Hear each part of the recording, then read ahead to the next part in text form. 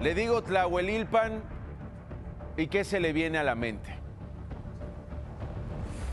Me voy a Hidalgo cambiando de temas porque esta madrugada cinco pipas cargadas con gas LP explotaron dentro de una empresa gasera. Tras el estallido se registró un fuerte incendio. Vean nada más las imágenes.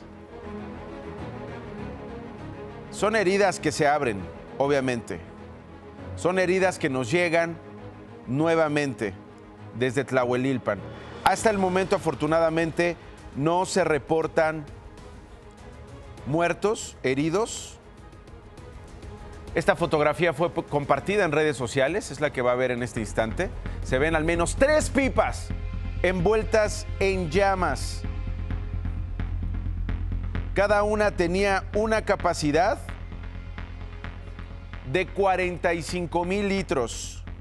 Estamos hablando de gas LP. Estamos hablando, por supuesto, de eh, el gas que utilizan negocios, que utilizan empresas. Así se veía el fuego de cerca. Al lugar llegaron elementos de protección civil, bomberos de varios municipios para controlar la situación. Tremendo, tremendo, tremendo. El incendio era visible desde varios kilómetros a la redonda. Las autoridades determinaron cerrar de una vez por todas la circulación en la carretera Tula-Actopan como precaución. Una vez que se controló la circunstancia, la vialidad quedó abierta.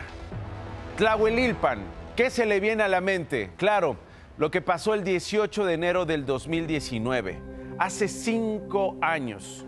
137 personas murieron en una explosión de una toma clandestina de combustible que dejó, como saldo destrucción, familias marcadas de por vida. Le decía 137 muertos, pero decenas y decenas y decenas de heridos.